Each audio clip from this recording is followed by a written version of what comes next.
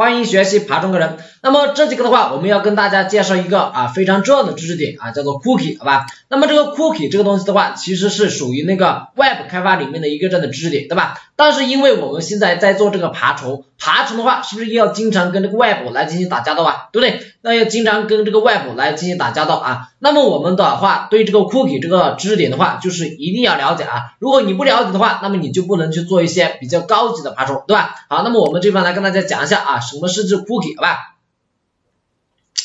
而，在那个网站当中啊，HTTP 请求的话，它是无状态的。什么叫做无状态呢？我们来看一下啊，也就是说，即第即使第一次和服务器连接后，并且登录成功啊，就是我们在那个网站里面的话，我们啊会输入那个用户名和那密码，那么把这个用户名和密码发送给服务器，发发送给服务器，那么服务器的话，在呃就知道你是谁了，对不对？就知道你是谁的啊。那么就是说登录成功以后啊，第二次服务器就是你第二次请求啊。那么你第一次是发送用户名，他知道你是谁，对吧？那么如果你第二次啊，第二次再去请求这个服务器，如果你没有携带这个用户名，那么此时这个服务器的话，还依依然不知道你是谁，名字依然不知道你是谁啊。那么 cookie 啊的出现啊，就是为了解决这个问题的，好吧？第一次啊，第一次登录后，服务器它会返回一些数据，也就是给这个 cookie 啊，然后浏览器的话会保存在本地啊，就是将这个 cookie 信息保存在本地啊。当该用户啊发当该用户啊发送第二次请求的时候啊，那么浏览器哈它就会自动的把上次请求啊上次请求这个服务器存储的那个 cookie 信息自动的携带给那个服务器啊。那么我们服务器的话，通过这个浏览器携带的那个数据，就能够判断出当前这个用户是谁的，好吧？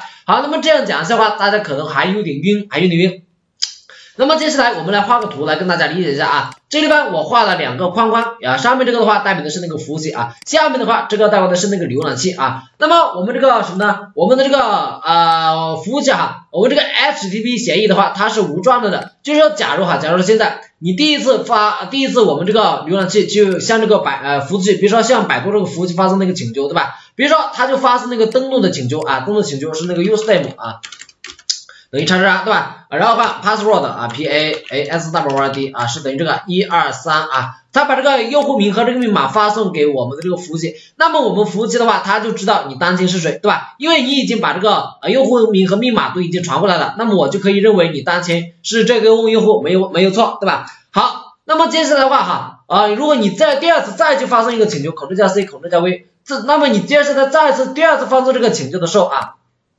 此时的话，因为你之前是已经发送过一次用户名和密码，已经登录成功了，对不对？那么此时第二次的话，你就不会去携带这个用户名和密码。那么此时我们这个服务器接收到你这个请求以后啊，他就说不好意思，因为 HTTP 状态的话它是无状态的，就是你上次发送过来的这些数据，我你第二次的话，你再发送，你第二次如果没有携带，那么我还是不知道这些数据。那么此时你第二次发送这个请求，这个服务器依然不知道你是谁啊，依然不知道你是谁。那么这个的话就叫做 HTTP 无状态。好吧，h 对于无状态啊，那么我们呃，那么大家想一下是吧？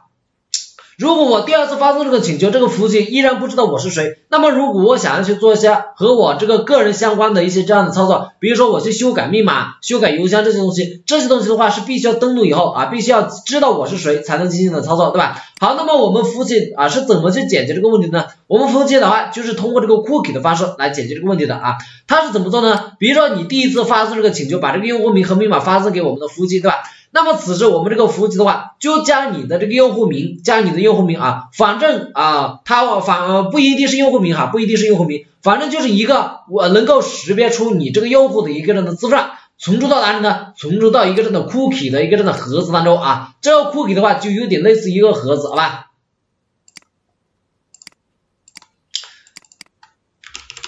这个 cookie 啊，就有点类似一个这样的盒子，它就将你的这个用户名，假如哈，假如它现在将你的这个用户名存储到这个 cookie 里面啊，我这个地方来拉大点，好吧，拉大点啊。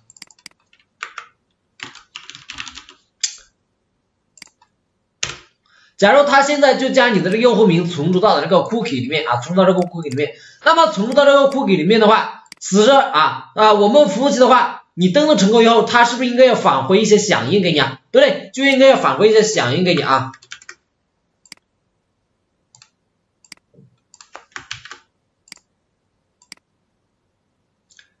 就像是你去登录某一个网站以后，你登录成功以后，服务器是应该要是不是应该要返回啊？比如说你登录成功啊，一些这样的信息给你啊，对不对？那么它返回一些这样的响应给你的时候，它就会将自自动哈，这个服务器的话，它就会将这个 cookie 信息啊放到我们的这个放到这个响应当中，然后发送给哪里呢？发送给这个浏览器啊，发送给这个浏览器。那么浏览器接收到这个响应以后，它就将啊服务器返回回来的这个库比信息存储存储在浏览器本地，存储在浏览器本地啊。存储到浏览器本地有什么作用呢？啊，那么以后你下次再去发送，再去向这个服务器发送请求的时候，那么我们浏览器啊，它就会从它的那个浏览器里面哈，它有它也有一个这样的类似数据库的一个东西，它就从这个数据库当中去查找，查找什么呢？查找和这个服务器，比如说这个服务器是百度的服务器，它就会去查找和百度服务器相关的这个库里信息。然后的话，它自动的啊，它会自动的在你发送这个请求的时候，它会自动的将这个 cookie 信息啊携带啊携带发送给这个服务器啊。那么我们服务器的话，它此时接收到你这个请求以后，它就从这个 cookie 信息 cookie 这个盒子当中，然后把这个 username 把这个东西把它给拿到，拿到以后，它就知道哦，原来你是上一位那个人，对不对？这样的话是不是就可以达到这种目的了？对不对？就可以达到这种目的啊。那么我们的这个啊 cookie 信息的话，就是啊来来解决这个 HTTP 无状态的一个这样的缺陷啊那么以后我们在网站开发的当中的话啊，基本上百分之八九十的这个网站的话，它的那个登录啊都是通过这个 cookie 来实现的啊。所以如果我们以后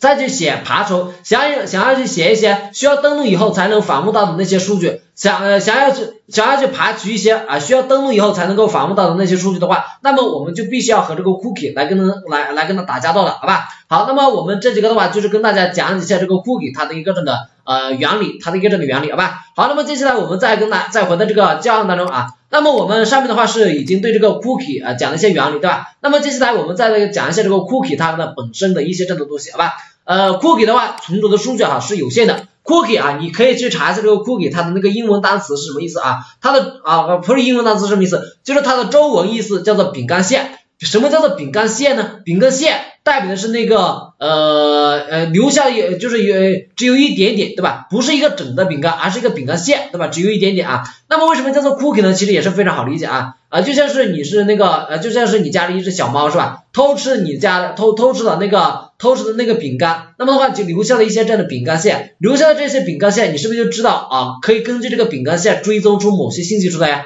对，那么其实非常形象啊，非常形象。就这个 cookie 的话，啊一一些这样的饼干线，我就知道我这个浏览器，啊我这个服务器就知道你是谁的，通过这个饼干线追踪出来的，对不对？啊，已经非常形象，非常形象啊。